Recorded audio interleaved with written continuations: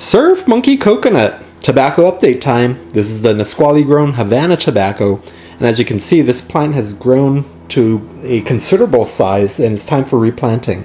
This is about the two month mark and um, to be honest, this plant is actually probably overgrown for this pot. Um, and it would have been better if it was transplanted about, say, a week and a half ago, but I wanted to intentionally leave it in here so that I can show you.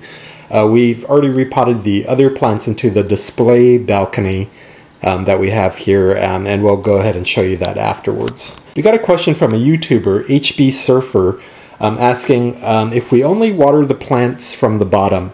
And yes, that's true uh, for the beginning stages of the plant. Um, you know, during the uh, when it's in the seedling starter trays, we water it from the bottom, as well as these nursery pots and I'll kind of show give you a demonstration how we do that. We just take this watering can and you know fill the bottom cup up.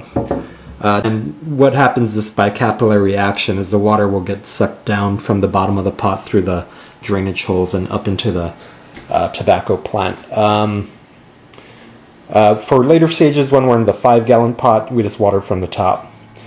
So what we're going to do now is uh, pinch off a little bit of these uh, yellow leaves at the very bottom, you know, just before transplanting so that when the plant is transplanted into the bigger pot, uh, the plant can concentrate its energy on the bigger and better leaves up here and also um, concentrate on creating, putting its energy into new uh, top growth rather than, you know, expending energy on these bottom ones. So all you have to do for these is just kind of pinch them off like that. just pick them off kind of like pieces of celery. Here's the very first leaves that formed. Take those out. Um, I'm also going to take this one out too. Just pinch it and pull it. And that's it. So um, what I'm going to do is uh, show you the tobacco update on the balcony. And uh, we'll see these in the big pots. So here we are on the upper deck of our urban balcony. And as you can see, this Havana tobacco plant is doing just fine. Uh, what I did is a, it's a little bit windy out here, so I supported this with three shish kebab skewers kind of in a tripod formation. It kind of supports the plant on all three sides. And that's actually really sufficient for holding it straight. And then it allows the plant um, room to grow up without being restrained by any twist ties or anything.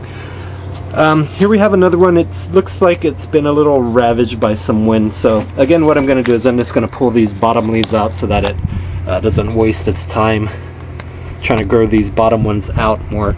Is a you can see it's a little uh, dented there and dented there. Um, eventually what's going to happen is when these grow bigger these bottom leaves will turn yellow first.